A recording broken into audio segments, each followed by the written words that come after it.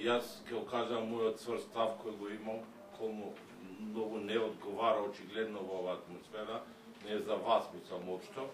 Значи, имаше една дебата и на една телевизија каде експертот бившиот статистика многу солидно ја објасна оваа материја, која се поклопува со моето мислење, дека пописот нема директна врска со избирачкиот список, тоа ви уверувам, но пописот, кога ќе се организира, може да биде корисен со оглед на средствата кои се трошат за еден попис за одредени теренски проверки. Тоа е да.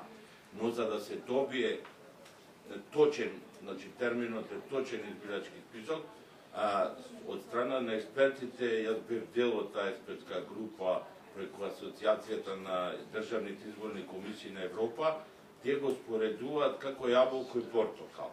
Затоа што нашиот закон за попис дека не се попишува ни еден граѓанин кој е над една година во странство. Е сега, во тој смисол не може да биде корисен.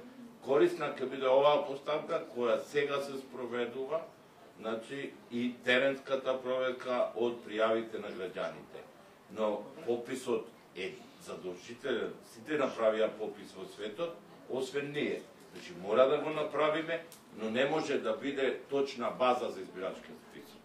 Јас само би се надобрзала на коментарот на колегата Новаковски и би кажала дека точноста на избирачкиот список во моментот најмногу зависи од усогласувањето и ажурирањето на податоците за граѓаните кои што имаат право избирачко право или право на власт, а кои што треба да се да обноват и а, превземат од евиденциите на надлежните државни органи.